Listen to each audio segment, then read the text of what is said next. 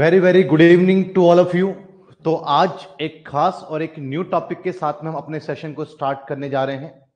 और सेशन का नाम है इन्वेस्टमेंट मल्टीप्लायर तो आइए सबसे पहले समझते हैं कि मल्टीप्लायर है क्या। ये क्वेश्चंस इन क्वेश्चंस पे हम बाद में आएँगे। इसको रीड भी हम बाद में करेंगे। सबसे पहला सवाल यही है कि मल्टीप्लायर क्या होता है। तो आइए कुछ इसके कहानी से इसकी शुरुआत करते हैं।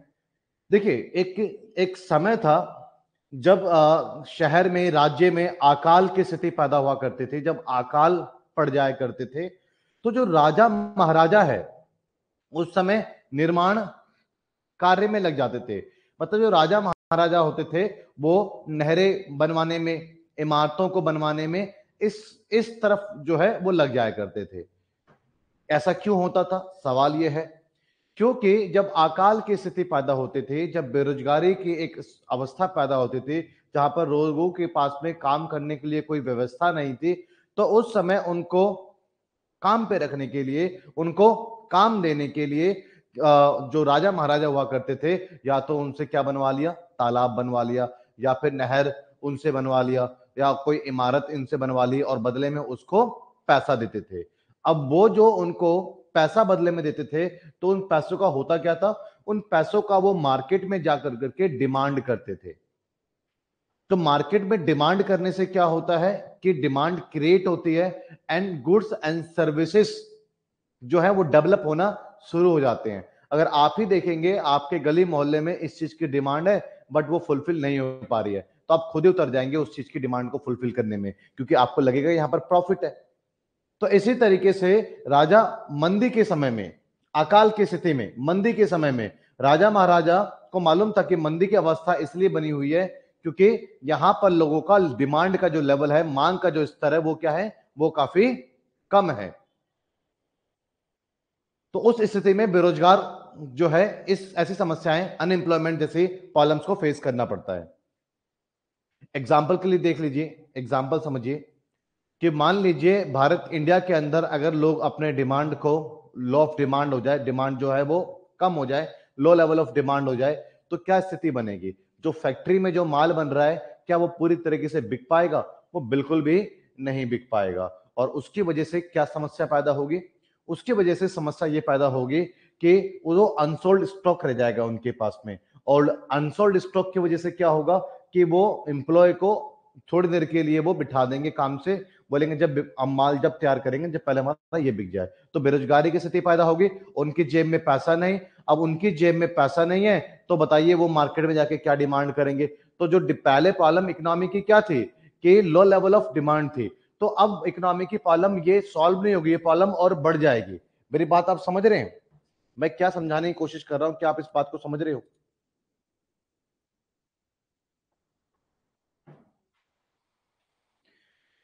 तो आप पहले इस कहानी को समझिएगा, मैं इन्वेस्टमेंट मल्टीप्लायर पर आपको लेकर के आ रहा हूँ, पूरी तरीके से समझाऊँगा। अब आपके माइंड में कुछ चीज़ें अगर मिक्स हो गई हैं। तो मैं दोबारा रिपीट कर देता हूँ। देखिएगा, एक कहानी से हम इसकी शुरुआत करते हैं। मान लें कि मांग का स्तर हो जाए कम, और ऐसा होगा कब? ऐसा जब होगा कि जब लोगों के पॉकेट में पैसा ना हो। जैसे कि लॉकडाउन के समय की मैं एक अच्छी सी कहानी बताता हूँ आपको। ध्यान से सुनिएगा। जैसे ही लॉकडाउन तो खैर एक ऐसा समय था जहाँ पे सब लोग अपने घर में थे, काम धंधे बंद थे। लेकिन जैसे ही लॉकडाउन खुला तो खुलते ही बाज़ार में जो है मंदी देखने को मिली। क्यों? क्योंकि लोगों के पास में लोग दो दो डेढ़ डेढ़, तीन तीन महीने से घर में बैठे हुए थे। लोगों के पास में पैसे नहीं थे। पॉकेट में पैसे, मैं ये नहीं कह रहा, बिल्कुल ज़ीरो हो गए थे, लेकिन थे कम। तो इसलिए उस स्थिति में पैसे के अभाव में, जब पैसे की कमी थी, इसमें लोग सिर्फ़ नेसेसरी चीज़ों को ही लेते थे अदर चीज़ों को थोड़े समय के लिए उन्होंने अवॉइड करा, कि भैया शॉपिंग करना, घूमना इवन एजुकेशन तक भी, ये सारी चीज़ें क्या होगा अवॉइड करा, क्योंकि अभी इतना ही पैसा था कि उसको नेसेसरी चीज़ों को हम अपने लिए अवेलेबल करवा पाए। तो बाज़ार में क्या देखने को मिला?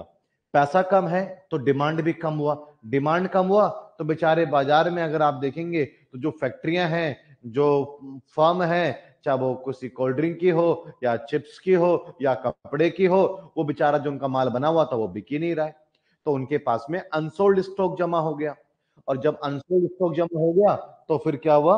उस स्थिति में आपने ये देखा कि अनसोल्ड स्टॉक के अंदर आप देखेंगे कि उस सिचुएशन में उन्होंने क्या करा? लोगों को काम से निकालना शुरू करा। तो लॉकडाउन के बाद आपको ये अभी तक ये सिलसिला आपको देखने को मिला है कि लोगों को काम पे से तेज़ी से निकाला गया। तो लोगों काम पे से फिर निकाला गया। क्योंकि भैया, उनका माल ही नहीं बिक रहा है तो और बनाने की ज़रूरत क्या? जब और अभी बनाना ही नहीं तो फिर इनको बिठा के सैलरी देने का मतलब ही क्या? तो काम से निकाल दिया। और जब काम से इनको निकाल दिया तो फिर ये प्रॉब्लम फेस करने को मिला कि ये बहुत सारे लोग जब बेरोजगार हुए तो जो पहले लोगों के पास में पैसों की कमी थी, जिसके कारण जो है लैक ऑफ़ डिमांड जनरेट हुआ, पैसों की कमी अब उनकी और ज़्यादा बढ़ गई। तो काम से ही निकल गए पूरी तरीके से। अब लैक ऑफ़ डिमांड की जो प्रॉब्लम थी, वो सॉल्व नहीं वो और ज़्यादा बढ़ गई, क्योंकि पैसे और कम हो गए और डिमांड कम हो गया इकोनॉमी के अंदर, और जब डिमांड का लेवल और कम हुआ तो अनसोल्ड स्टॉक और बच गया। तो इस तरीके से फिर बेरोजगारी और बढ़ गई। तो इस तरीके से इकोनॉमी रिसेशन में चली जाती है, मंदी के, मंदी में चली जाती है इकोनॉमी अब ऐसे स्थिति से निपटने के लिए क्या करना चाहिए? आपसे मेरा सवाल है। आप ही देश के, मान लीजिए प्राइम मिनिस्टर है या फिर आप राजा महाराजा हैं और आप इस स्थिति को समझ पा रहे हैं कि स्थिति क्या है? लोगों पास पैसों का अभाव आया, मांग के स्तर में कमी आई तो जो फर्मों ने प्रोडक्शन करना कम कर दिया अनएम्प्लॉयमेंट जनरेट हुआ और जो है लैक ऑफ़ मनी और देखने को मिली, उसकी वजह से लैक ऑफ़ डिमांड और जनरेट हुआ और ये अनएम्प्लॉयमेंट पे अनएम्प्लॉयमेंट इकोनॉमी में देखने को मिल रहा है। इकोनॉमी पूरी तरीके से रिसेशन में आ गई है। हाँ मैं एक चीज़ को मानता हूँ कि इस सिचुएशन में फर्मों का जो है अनसोल्ड स्टॉक बचा हुआ है, चीज़ें उसकी बिक नहीं रही है तो रेट कम ज़रूर होंगे। लेकिन ये रेट कम होना ज़्यादा खतरनाक साबित हो जाता है। एक बात बताओ, चीज़ें, मुझे अगर जॉब है मेरे पास, में चीज़ें महँगी मिल रही है, तब भी मैं ले पाऊँगा क्वांटिटी कम लूँगा बट ले पाऊँगा। अब जब मेरे पास में जॉब ही नहीं है, चाहे वो सस्ती ही मिले तो वो तो मैं उसको, चाहे वो ठन्नी का ही मिले, जब मेरी जेब में कुछ भी नहीं है तो बताइए वो मैं उसको ले नहीं पाऊँगा ना। उसको तो कुछ भी नहीं ले पाऊँगा मैं। तो कहीं ना कहीं रिसेशन में भले ही वस्तु की कीमतें जो है वो वो गिरती चली जाती हैं, लेकिन रिसेशन के अंदर बड़ी खतरनाक सिचुएशन डेवलप हो जाती है, जहाँ पर अनएम्प्लॉयमेंट जनरेट होता है। बेरोजगारी, और ये एक ऐसा चेन बनता है, जो अनएम्प्लॉयमेंट पे अनएम्प्लॉयमेंट अनएम्प्लॉयमेंट पे अनएम्प्लॉयमेंट और ये चेन पूरी तरीके से इकोनॉमी को अपने गिरफ्त में कर लेगा। बात समझे? क्लियर है? अब बात करते हैं हम यहाँ पर कि इस प्रॉब्लम से कैसे निकला जाए। तो सबसे पहले जहाँ पे प्रॉब्लम की शुरुआत हुई थी, वहीं पर हम इसका सॉल्यूशन भी है। शुरुआत कहाँ से हुई थी? लोगों के पास पैसा नहीं था। जिसकी वजह से क्या हुआ? कि लोगों ने डिमांड की कमी करी अनसोल्ड स्टॉक रह गया, फिर उसके बाद वही बेरोजगारी आई देन उसके बाद फिर लैक ऑफ़ मनी हुई, ये पूरा का पूरा जो है साइकिल चलता रहा। तो इस प्रॉब्लम को सॉल्व वहीं से करेंगे। क्या करेंगे? लोगों की जेब में पैसा डालेंगे। अब पैसा कैसे डालेंगे? वो मैं बताता हूँ। राजा महाराजा क्या करते थे? ऐसे नहीं कि घर घर पे जाकर के पैसे उसको भिजवा दिए। ऐसे नहीं डालना। अगर पैसे देना है तो कोई काम करवा लो। इसलिए राजा महाराजा उस जमाने में मंदी की स्थिति में तालाब बनवाने लग जाते थे। वो कोई इमारत बनवाने लग जाते थे। वो नहर बनवाने लग जाते थे, जिससे कि लोगों के पास में क्या जाए? पैसा जाए। अब जब लोगों के पास में पैसा जाएगा तो लोग डिमांड करना शुरू कर देंगे। और जब डिमांड करना शुरू कर देंगे तो वो अनसोल्ड स्टॉक फिर बिकने लग जाएगा।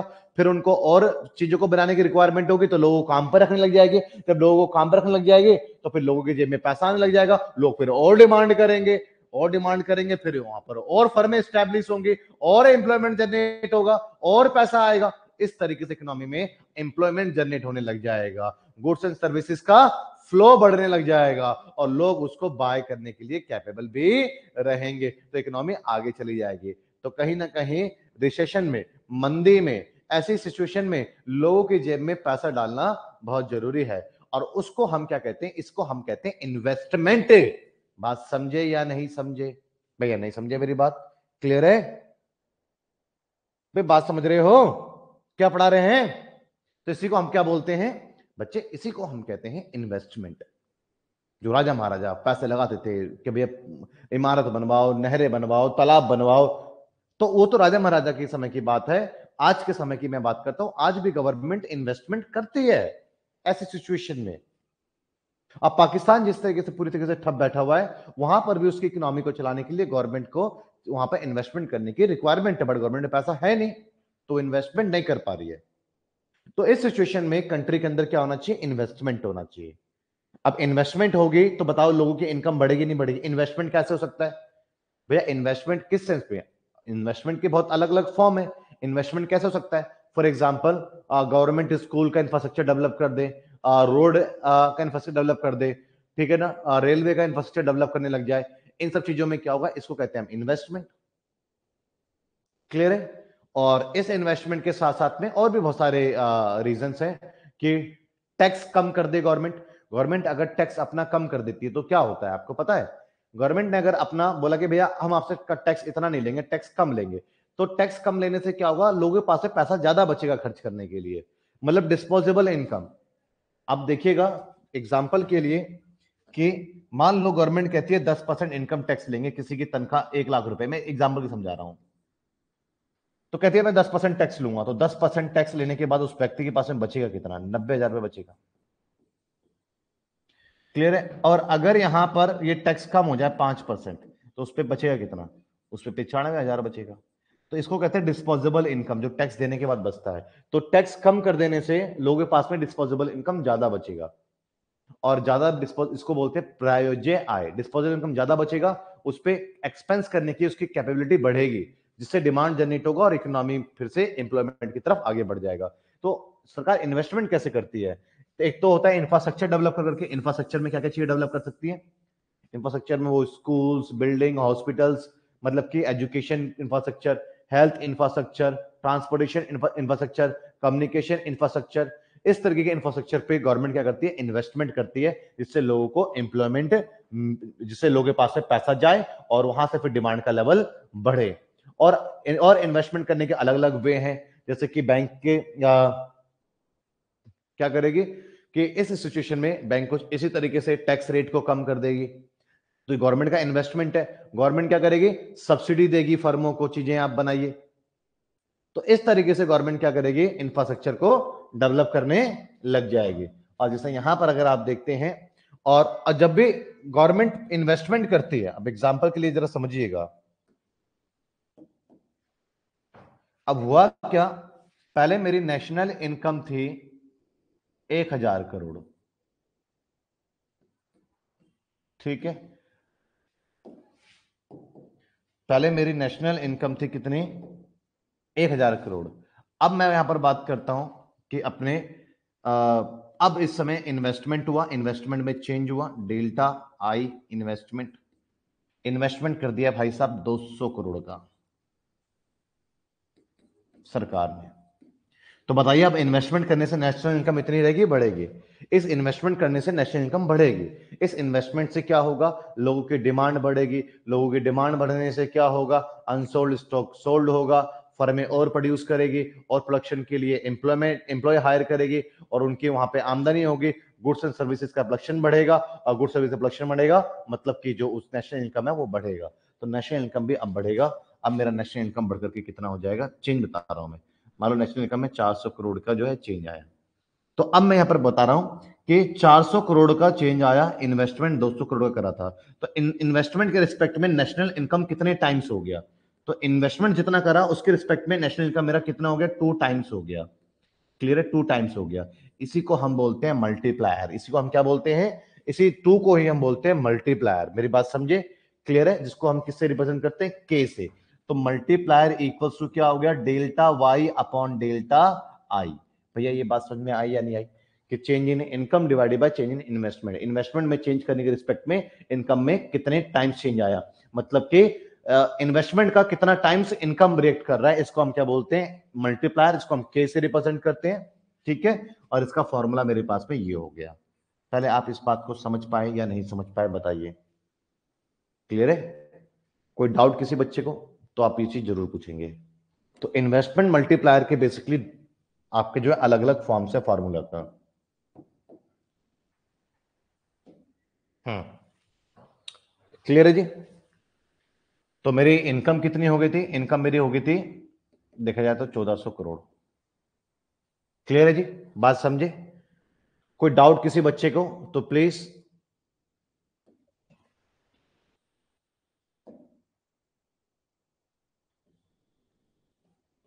क्लियर है? Delta Y. चार सौ करोड़ तो इनकम में चेंज कितना है मेरा? चौदह सौ करोड़। क्लियर है जी? तो पहले 200 करा था 400 इसका दिए। तो ये मेरे पास में क्या गया? इन्वेस्टमेंट मल्टीप्लायर आ गया। किसी को डाउट है तो प्लीज़ पूछ लेंगे। अब आप देखिएगा।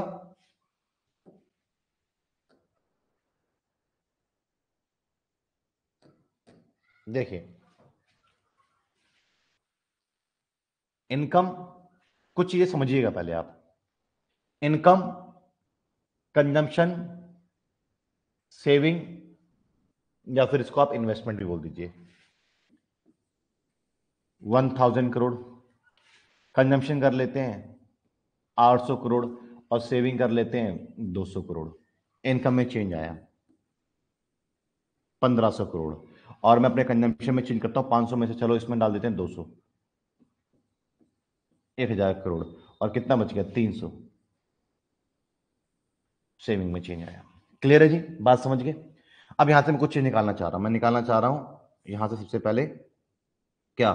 के की value first investment multiplier delta Y upon delta I ठीक है? इनकम में जो चेंज आया 500 और इन्वेस्टमेंट में चेंज आया 100 सेविंग इन्वेस्टमेंट एक ही चीज़ होता है ना, एक इक्विलिब्रियम इकोनॉमी में। एक इक्विलिब्रियम इकोनॉमी में मैंने पढ़ाया था आपको कि आई इक्वल्स टू एस होता है। Aggregate demand equals to aggregate supply means I equals to S तो फाइव टाइम्स क्या आई? वैल्यू मेरी के की वैल्यू आई। अगर यहीं पर मैं एमपीसी निकालू तो change in consumption divided by change in income कि इनकम में जो चेंज आया उसका कितना टाइम्स कंजम्पशन में चला गया। तो कंजम्पशन में चेंज कितना आया मेरा? 200 और इनकम में कितना चेंज आया? 500 करोड़। तो कितना है? 0.4 क्लियर है जी? बात समझे या नहीं समझे? किसी को कोई डाउट है तो प्लीज़ पूछ लीजिए।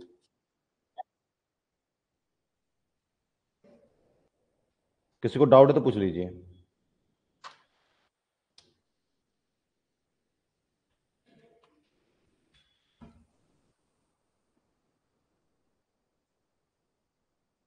यानी खुशबू कितनी पुरानी बात कर रहे हो कि Y equals to C plus S होता है। I equals to S B होता है।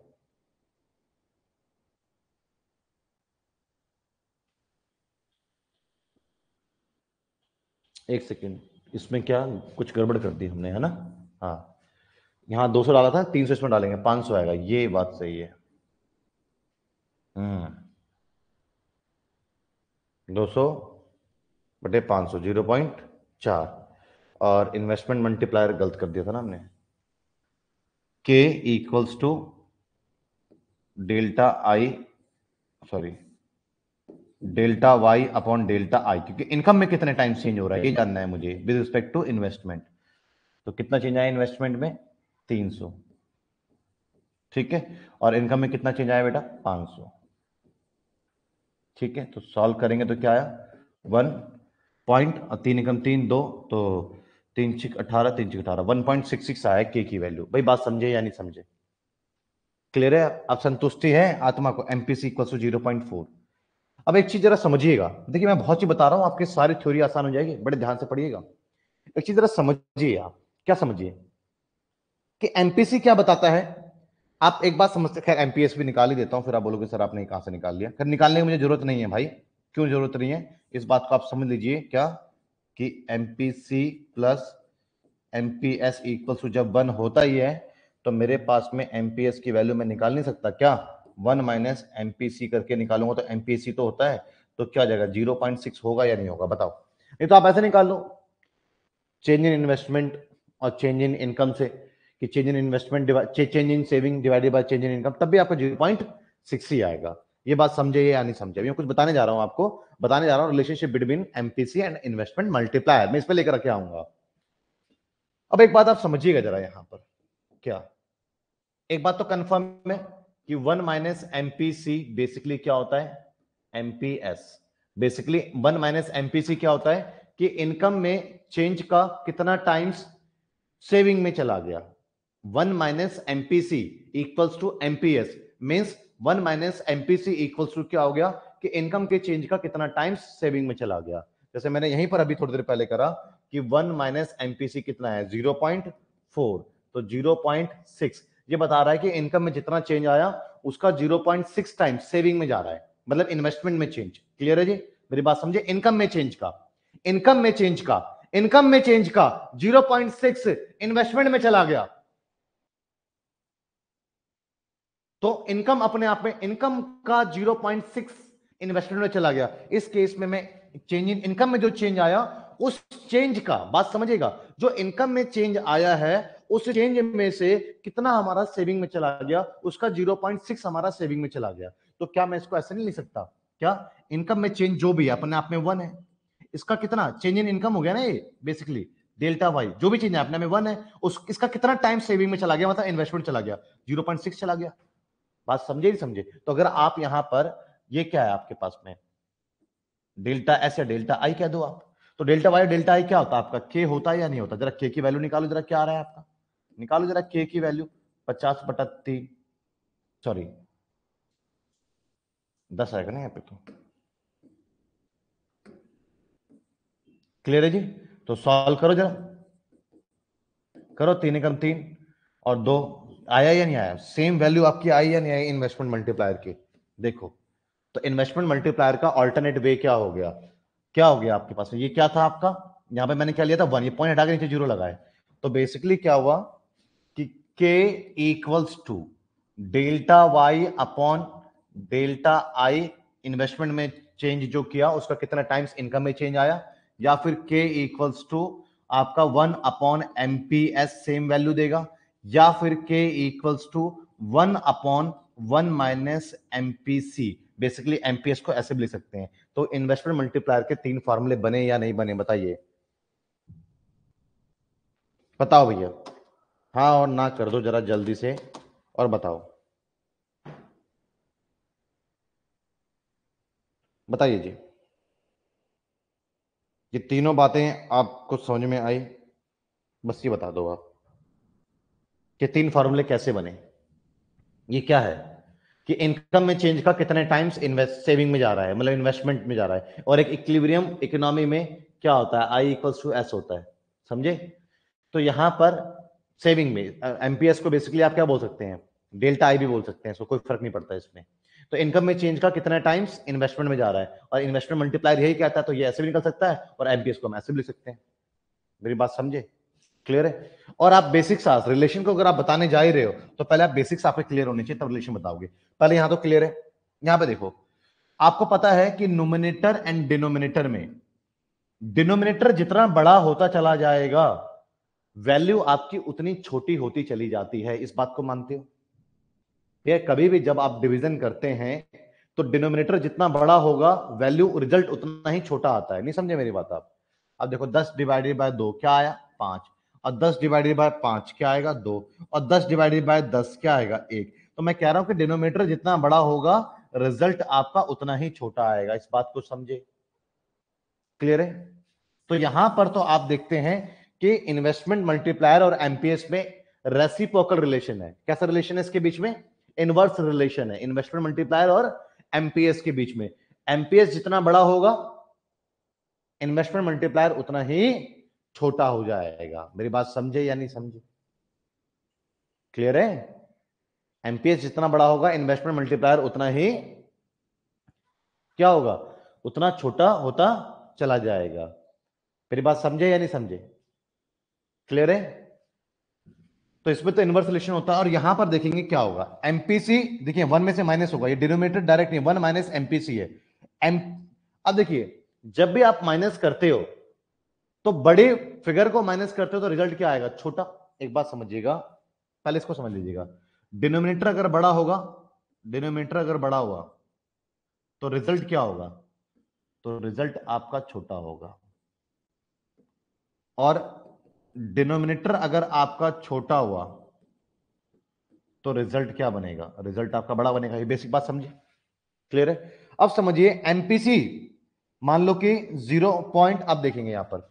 एमपीसी जितना बड़ा आएगा एमपीसी जितना बड़ा होता चला जाएगा डिनोमीटर उतना छोटा बनेगा? नहीं समझे? अब मेरी तनख्वाह में से पाँच हज़ार घटाओ और मेरी तनख्वाह में से दस हज़ार घटाओ। जितना ज़्यादा घटाओगे, मेरी तनख्वाह उतनी ही तो कम बचेगी। मेरी तनख्वाह में से दो हज़ार घटाओ, मेरी तनख्वाह में से तीन हज़ार घटाओ, मेरी तनख्वाह में से चार हज़ार घटाओ, मेरी तनख्वाह में दस हज़ार घटाओ। भाई, जितना ज़्यादा घटाओगे, मेरी तनख्वाह उतनी ही कम होती चली जाएगी। तो इसी तरीके से एमपीसी जितना बड़ा होगा वन में से घटाने के बाद रिज़ल्ट उतना ही छोटा आएगा मतलब डिनोमिनेटर उतना ही छोटा बनेगा और आपका डिनोमिनेटर जितना छोटा बनेगा, आपके पास में क्या होगा रिज़ल्ट उतना ही बड़ा आएगा। इसका मतलब क्या हुआ कि अगर एमपीसी बड़ा हुआ तो रिज़ल्ट भी बड़ा आएगा। एमपीसी इंक्रीज होगा तो आपका इन्वेस्टर मल्टीप्लायर भी बड़ा होगा। क्यों? आप देख लीजिए एग्ज़ाम्पल के लिए देख ले। नहीं समझे मेरी बात तो। मैं यहाँ पर एक आपको एमपीसी 0.2 ले देता हूँ। और एक मैं एमपीसी 0.5 ले लेता हूँ। अब देखिए investment multiplier K equals to one minus MPC होता है ना तो देख लीजिए one minus one zero point two पे देख लेते हैं क्या हो गया। वन अपॉन ये ज़ीरो पॉइंट एट आएगा। और क्या आ गया? दस। सॉल्व करिए इसको जरा। क्या आ गया आपके पास में? पाँच बटा चार चार कम चार one point one two five आ गया। और यहीं पर अगर आप के की वैल्यू देखिए, कब? जब आपका one upon one minus zero point five आया तो आप यहाँ पर देखें आपके पास ज़ीरो पॉइंट फाइव बचा और सॉल्व करेंगे तो क्या जाएगा? दो आ जाएगा। तो आप देखिएगा, जब आपका एमपीसी बड़ा है, इन दोनों में से तो रिज़ल्ट क्या बन रहा है? बड़ा। और जब आपका एमपीसी रिज़ल्ट जब आपका बड़ा है तो रिज़ल्ट बड़ा। और जब एमपीसी छोटा है तो रिज़ल्ट क्या बन रहा है आपका? कंपेटिवली छोटा बन रहा है। तो मैं यही बात कह रहा हूँ कि एमपीएस के साथ में इनडायरेक्ट रिलेशन होता है। एमपीसी अगर बड़ा रखोगे तो के की वैल्यू कम आएगी। एमपीएस छोटा रखो के की वैल्यू ज़्यादा आएगी। लेकिन एमपीसी का डायरेक्ट रिलेशन है। एमपीसी अगर आप बड़ा रखते हो, समझे? तो आपका जो है रिज़ल्ट इन्वेस्टमेंट मल्टीप्लायर भी बड़ा ही आएगा। और एमपीसी अगर आप छोटा रखते हो तो इन्वेस्टमेंट मल्टीप्लायर भी छोटा आएगा। क्योंकि बड़ा रखने पर फिगर छोटा बन जाता है डिनोमीटर छोटा होने पर रिज़ल्ट बड़ा बन जाता है। और बड़ा छोटा रखने पर छोटा माइनस करोगे तो बड़ा बचेगा, ज़्यादा बच जाएगा। और जब डिनोमीटर ज़्यादा रहेगा तो रिज़ल्ट आपका छोटा आएगा। तो ये आप बस इतना समझिएगा कि इसके साथ में इनडायरेक्ट रिलेशन होता है और इसके साथ में डायरेक्ट रिलेशन होता है। बस बात खत्म। क्लियर है? समझे? आइए, अब आपकी कहानी समझते हैं। भैया कि प्रीवियस एग्ज़ाम में जो आया हुआ है क्वेश्चन इसके ऊपर, वो क्या कहता है? सवाल ऐसे कुछ पूछा गया आपसे। सवाल ये पूछा गया कि explain the concept of investment multiplier भैया, क्या है इन्वेस्टमेंट मल्टीप्लायर तो इन्वेस्टमेंट के रिस्पेक्ट में, जो इन्वेस्टमेंट में चेंज आया, उसके रिस्पेक्ट में इनकम में कितने टाइम्स चेंज आया हमारे? हमारे नेशनल इनकम में कितने टाइम्स चेंज आया, इसको हम क्या बोलते हैं? इन्वेस्टमेंट मल्टीप्लायर कहते हैं। Explain the concept of investment multiplier also explain its working कैसे काम करता है। Discuss the relationship between the investment multiplier and the margin propensity to consume मतलब के और एमपीसी के बीच रिलेशन बताना है। तो यहाँ पर इन्वेस्टमेंट मल्टीप्लायर का एक फॉर्मुला दिया हुआ है। क्या कह रहा है? Investment multiplier is a one of the most important concept answer the Keynes theory the multiplier is defined as the ratio of the change in income to the change in the level of investment this one clear है? Hence the investment multiplier refer to the number by which the change in the investment has to be multiplied to find out the change in income when investment increase by certain amount aggregate income increase by a multiplier of the that investment this multiplier is called the investment multiplier it show the relationship between the initial increment in investment and the resulting increment in the national income it explains the relationship between the increase in investment and uh, result increase in income वही बात है आपसे कह रहा है this one क्या कह रहा है फॉर एग्ज़ाम्पल 50 करोड़ रुपए crore invested is made in an economy and brings a change in income by 250 crore then value of the multiplier will be तो 250 divided by 50 तो 5 आपका मल्टीप्लायर की वैल्यू आ गई तो इन्वेस्टमेंट मल्टीप्लायर एंड एमपीसी के ऊपर बात कर लेते हैं जो कि मैं ऑलरेडी कर चुका हूँ कि डायरेक्ट रिलेशन होता है the investment multiplier shares the direct relation with the marginal propensity to consume direct relation hota hai if mpc is given value investment multiplier can be found out by the following method इससे आप investment multiplier इससे भी निकाल सकते हो भैया मैंने क्या कोई गलत बात बोली आपको बताओ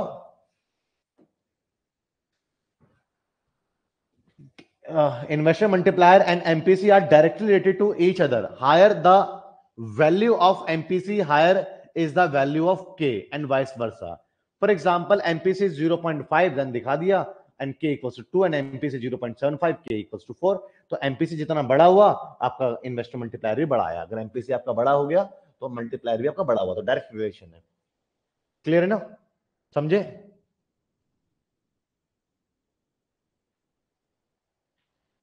बात समझे या नहीं समझे? क्लियर है भैया यहाँ तक? देख लीजिए, पहले कोई डाउट है तो पूछ लीजिए।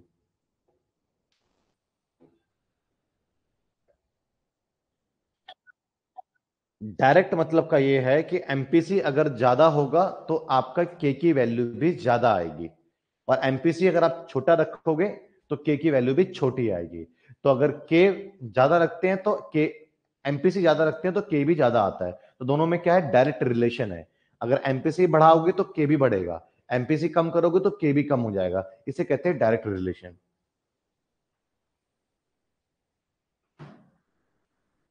क्लियर है जी?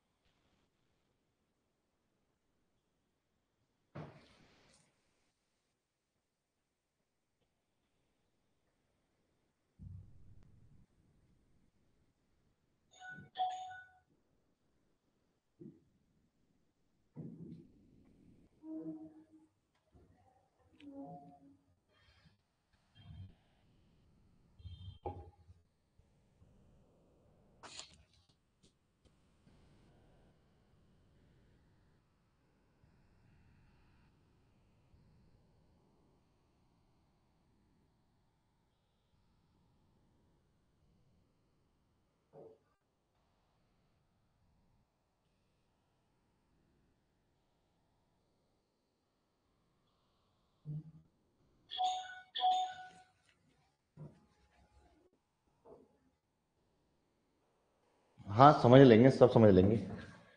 अब देखिएगा, अब ये क्या केस है? वर्किंग ऑफ़ इन्वेस्टमेंट मल्टीप्लायर मतलब कि इन्वेस्टमेंट मल्टीप्लायर किस तरीके से काम करता है? सवाल ये है।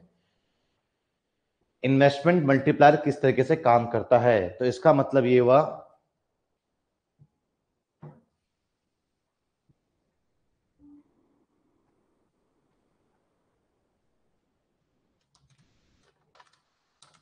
देखिए जी मेरा सवाल क्या है? कि investment multiplier working of investment multiplier किस तरीके से काम करता है? एक स्टूडेंट का सीधा सा सवाल मेरे से हो सकता था। क्या हो सकता था? सर, एक बात, एक बच्चा मेरे से सवाल ही पूछ सकता था। समझिएगा जरा। एक बच्चा कहता, सर, हमने सरकार ने एक इन्वेस्टमेंट करा, मान लो 800 करोड़ रुपए, बोला कि भैया फ्लाईओवर बना दो। ये इन्वेस्टमेंट हो गया। या 800 करोड़ मजदूरों के, इंजीनियरों के तनख्वाह के रूप में जेब में जाएँगे, कंस्ट्रक्शन का जो सामान आएगा, उस फैक्ट्रियों में जाएँगे, उस फैक्ट्री के मजदूरों को पैसा मिलेगा। तो मतलब लोगों की आय बनेगी। सरकार अगर 800 करोड़ खर्च कर रही है तो वहाँ पे काम करने वाले मजदूर, इंजीनियर, जो कंस्ट्रक्शन का मटेरियल आ रहा है, वहाँ जो ट्रांसपोर्टेशन कर रहे हैं, उनका, उनको, उनकी तनख्वाह और जो फैक्ट्री में सामान बन रहा है, उस सामान को पे करेंगे। उस सामान से वो बेसिकली क्या है उनके मजदूर उनके एम्प्लॉय को पैसा मिलेगा कहीं ना कहीं लोगों की आमदनी बनेगी। तो एक बच्चा मुझसे पूछता है कि सर एक एक, एक मुझे एक चीज़ बताइए जरा कि अगर मेरे पास में इन्वेस्टमेंट में चेंज मेरे पास में अगर 800 करोड़ रुपए का गवर्नमेंट ने करा है तो सर एक बार बताओ कि यहाँ पर इनकम में चेंज भी तो 800 करोड़ का ही आना चाहिए ना? क्योंकि लोगों की आमदनी तो 800 करोड़ ही होगी। सवाल ये है समझिएगा। सरकार ने अगर 800 करोड़ रुपए खर्चे हैं तो लोगों की आमदनी भी 800 करोड़ रुपए की आएगी। तो मतलब कि यहाँ पर क्या हुआ कि सर के की वैल्यू तो वन होती है वन होगी। बात पहले सब सारी बातों पर मैं आऊँगा, पहले सुन लो आप। तो के की वैल्यू तो वन होनी चाहिए बट आप आप बता रहे हैं के की वैल्यू चार, पाँच तो के की वैल्यू ज़्यादा कैसे हो जाती है? मतलब जितना हम इन्वेस्टमेंट कर रहे हैं, उससे ज़्यादा कैसे इनकम जनरेट हो सकती है? सवाल आपका ये है। मेरी बात समझिएगा। सवाल तो यही तो है ना वर्किंग ऑफ़ इन्वेस्टमेंट मल्टीप्लायर कैसे काम करता है? क्लियर है? तो यहाँ पर ये आपसे यही सवाल पूछ रहा है कि वर्किंग ऑफ़ इन्वेस्टमेंट मल्टीप्लायर किस तरीके से आपका काम करेगा? कि the working of investment multiplier can be understand with the help of the following example एक एग्ज़ाम्पल ले रखा है इसने, ये एग्ज़ाम्पल एक अभी तक इसने लिया है। वो कैसे? जो मैं अभी एग्ज़ाम्पल ले रहा हूँ। कि सवाल क्या कि 800 करोड़ सरकार ने खर्चे हैं तो 800 करोड़ की आमदनी लोगों की बनेगी, तनख्वाह 800 करोड़ ही बढ़ेगी। तो नेशनल इनकम में 800 करोड़ का इजाफा होना चाहिए। सर, ज़्यादा का कैसे हो जाएगा? मतलब कि इन्वेस्टमेंट में चेंज जितना करा, उससे ज़्यादा इनकम में कैसे चेंज आ सकता है? इनकम में भी उतना ही चेंज आना चाहिए। सवाल आपका ये है तो ये मैं आपको बता रहा हूँ मल्टीप्लायर काम कैसे करता है? समझिएगा?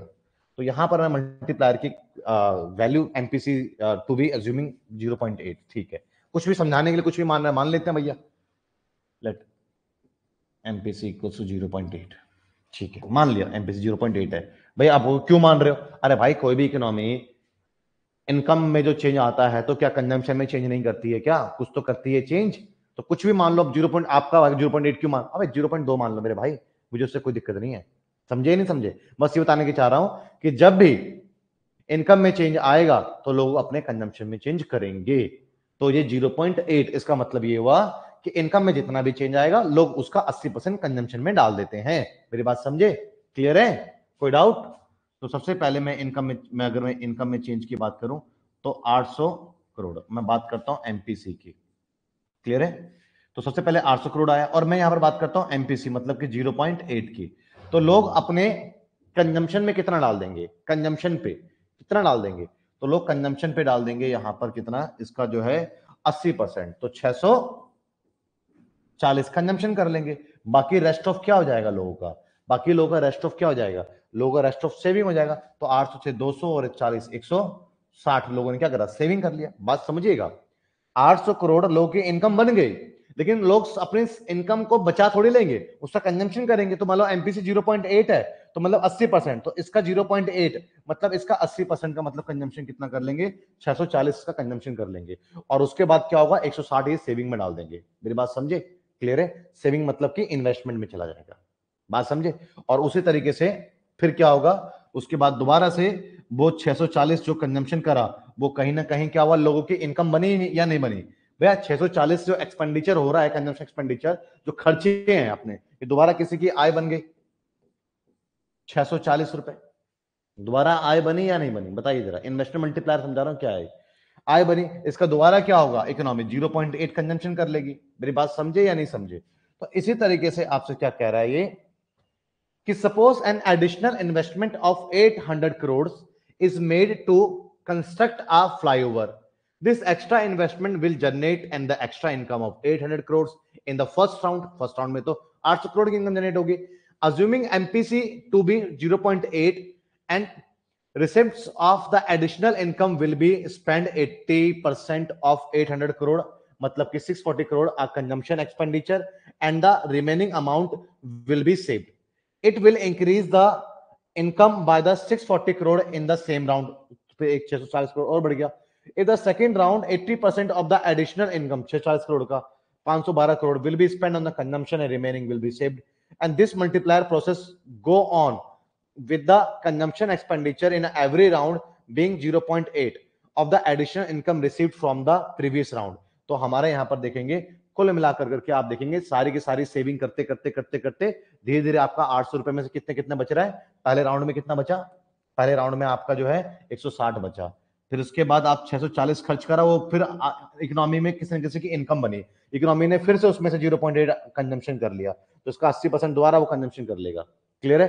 फिर बचेगा। तो ऐसे करते करते करते करते सारा का सारा जो है, वो 800 जो शुरू में इनकम हुई थी ना धीरे धीरे सारा सेविंग में चली जाएगी। और आपका जो इनकम है वो कितनी बन गई? वो चार हज़ार करोड़ बन गई इनकम वो बन जाएगी आपकी। क्लियर है? ये वही बात कह रहा है। तो यहाँ पर इन्वेस्टमेंट मल्टीप्लायर आपका delta by delta equals to क्या आ गया आपके पास में? फाइव आ गया, जिसको हमने ऐसे निकाला है। ये बात समझ में आई? तो इकोनॉमी में ये नहीं होता, ये मत सोचिएगा कि राजा महाराजा या सरकार ने अगर 800 करोड़ का इन्वेस्टमेंट करा तो 800 करोड़ का ही राष्ट्रीय आय बढ़ेगा। हाँ पहले राउंड में 800 करोड़ का राष्ट्रीय आय बढ़ेगा, लेकिन वो जो लोग आए हैं, लोग क्या करेंगे? उस पैसे को दफना देंगे क्या? आग लगा देंगे क्या उस पैसे में? या उस पैसे को लेकर फिर से निकलेंगे कंजम्पशन करने के लिए? और जब उस पैसे को लेकर कंजम्पशन करने के लिए जब वो निकलेंगे तो एक बार बताओ कि वो दोबारा लोगों की आय बनेगी या नहीं बनेगी? तो राष्ट्रीय आय क्या सिर्फ़ 800 करोड़ का ही रह गया या फिर वो बढ़ा? वो दोबारा से राष्ट्रीय आय, वो लोगों की छह सौ चालीस करोड़, आठ सौ प्लस छह सौ चालीस करोड़ दोबारा बढ़ा। क्योंकि 800 करोड़ सारा का सारा खर्च नहीं होगा, जितना कंजम्पशन का नेचर है इकोनॉमी का। मान लो कि हमारी इकोनॉमी 0.8 कंजम्पशन करती है लाइक एमपीसी इनकम में चेंज आने के बाद कंजम्पशन में 0.8 का चेंज आता है। एमपीसी है ये। तो मतलब कि 800 करोड़ में से 0.8 तो आपके पास चौसठ, छह करोड़।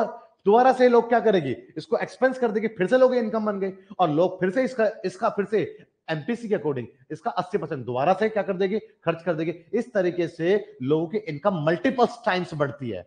क्लियर है ना? तो कितने टाइम्स बढ़ती है लोगों की इनकम इन्वेस्टमेंट इनकम बढ़ेगी इट्स कॉल्ड इन्वेस्टमेंट मल्टीप्लायर बात समझे या नहीं समझे? क्लियर है?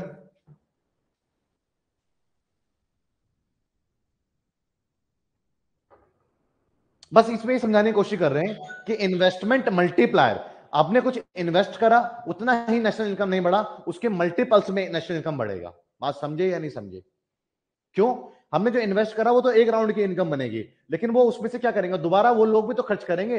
अब आप जो मुझे पैसा देते हो, जो मुझे फ़ीस देते हो तो मैं क्या करता हूँ? दफना देता हूँ उसको या मैं मैं खर्च करता हूँ। तो लोग की आमदनी बनती नहीं, बनती आपके पैसे से। अब जिसपे मैंने खर्च करा, वो क्या करता है? वो भी तो खर्च करता है। बात समझे या नहीं समझे? क्लियर है? तो आपका वही पैसा कितने काम आ जाता है? समझिएगा इस चीज़ को। आपने तो मुझे फ़ीस दी, हज़ार रुपये फ़ीस दे दी आपने मुझे। अब आपने हज़ार रुपये फ़ीस दे दी, मैं अस्सी परसेंट तो भैया कंजम्पशन करता हूँ तो मैंने दो सौ रुपये डाले, वो भी इन्वेस्टमेंट बैंक में रख दिए, आठ सौ रुपए मैंने खर्च कर दिए। तो अब देखिएगा, हज़ार रुपये आपने फ़ीस दी तो आपको लग रहा है कि भैया हज़ार रुपये आपने इन्वेस्टमेंट करा तो हज़ार रुपये मेरी इनकम होगी। हाँ मेरी हज़ार रुपये इनकम है बट आठ सौ रुपये उसकी भी इनकम होगी, अठारह सौ रुपये इनकम होगी।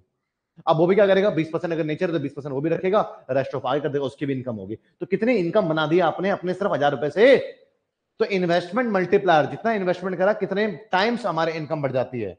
बस समझे नहीं समझे?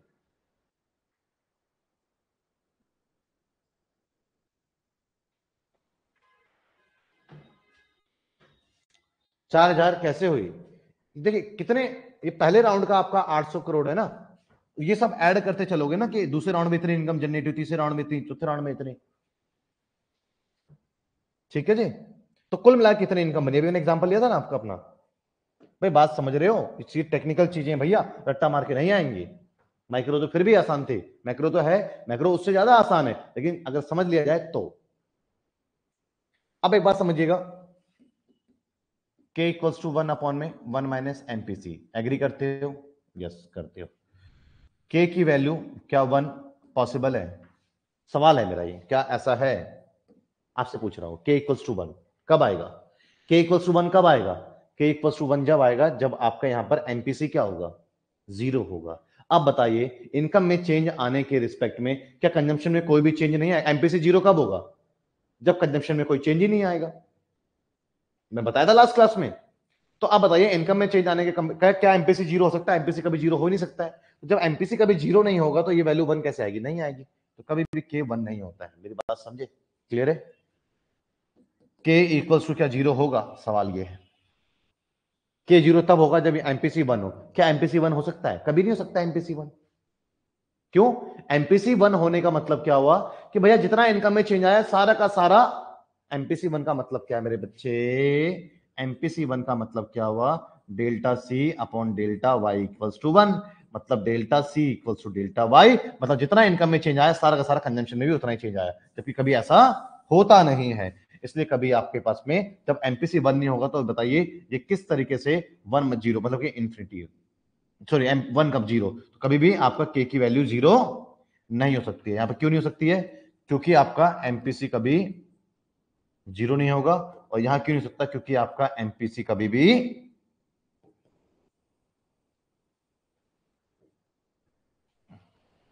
वन सॉरी के की वैल्यू ज़ीरो तो नहीं इन्फिनिटी इन्फिनिटी की बात कर रहा हूँ। इन्फिनिटी हम्म, अगर ये वन हो गया एमपी से कभी तो ये कभी भी रिजल्ट्स ऐसे देखने को नहीं मिल सकते हैं क्योंकि कभी भी ये ना तो ज़ीरो होता है ना ही ये वन होता है। ज़ीरो होगा तभी वन आएगा ठीक है? और वन होगा तभी वन में से वन गया ज़ीरो इन्फिनिटी आ जाएगा। क्लियर है मेरी बात समझे? ये ये पॉसिबल केंज कहता है इनकम में जब भी चेंज आता है तो सारा कंजम्पशन पे नहीं जाता है। तो इसका मतलब है कि कभी भी आपके पास में एमपीसी की वैल्यू वन नहीं हो सकती है। इसका मतलब ये होगा कभी भी के की वैल्यू फिर इन्फिनिटी नहीं जाएगी। और केंज कहता है कि इनकम में जब भी चेंज आएगा तो कंजेंशन में ज़रूर कुछ ना कुछ चेंज आएगा। इसलिए कभी भी एमपीसी की वैल्यू ज़ीरो नहीं हो सकती है। इसलिए कभी भी के की वैल्यू वन नहीं होगी। ये कुछ बात समझे या नहीं समझे?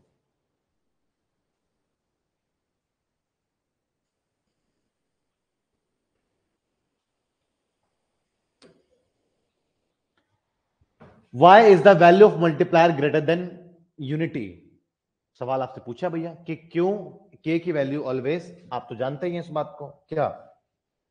क्या जानते एमपीसी ऑलवेज ज़ीरो से बड़ा रहेगा, एक से छोटा रहेगा।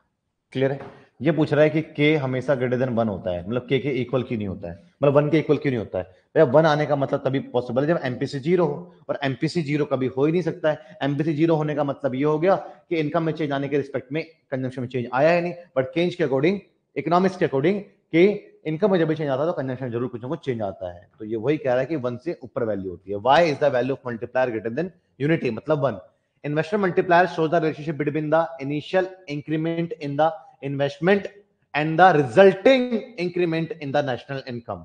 Multiplier can also be calculated with the help of the marginal propensity to consume and marginal propensity to save. मैंने बताया था आपको इस तरीके से आप निकाल सकते हैं multiplier multiplier shares are direct relationship between with MPC मैंने बता रखा है आपको ऑलरेडी के के और एमपीसी के बीच में रिलेशन कैसा पाया जाता है डायरेक्ट पाया जाता है क्लियर है जी अब क्या कहता है multiplier shares are direct relationship between MPC and inverse relationship between with MPS but हो चुकी है पहले the value of the value of investment multiplier is always greater than 1 because if MPC is 0 then the K will be equal to the 1 but MPC is always greater than 0 as it shows the additional consumption due is increase in income hence the value of the investment multiplier will always greater than 1 मेरी बात समझे या नहीं समझे। Clear है? अब अगली कक्षा में explain the working of multiplier when the increase in investment is economy is 100 crore and MP is 0.5 पर मोस्ट मोस्ट इंपोर्टेंट क्वेश्चन है, ऐसा कोई भी केस आपके पास में, आपका आज तो मैं कल चर्चा, वही मैं चर्चा कर चुका हूँ इस बात को, दोबारा मैं चर्चा कल कर लूँगा टेबल बना करके। तो कल कुछ हम न्यूमेरिकल्स की भी प्रैक्टिस करने वाले हैं, इस तरीके से तो कल का सेशन एक शानदार सेशन कल का भी होने वाला है। आज तो बुधवार है, कल वीरवार है, शुक्रवार है तो क्लास चलेगी। बट हम इसके एंड पर आ जाएँगे। दो दिन अभी क्लास और होगी, कल और परसों। तो उम्मीद करता हूँ दो दिन के अंदर हम इसको एंड पे ले जाए। देन ये भी खत्म हो जाएगा हमारा। अब टेन ईयर हिंदी में भी है इंग्लिश में भी है मार्केट में जाइए, ले लीजिए यार, आपके घर के आसपास स्टेशनरी की दुकान होगी, ज़रूर होगी।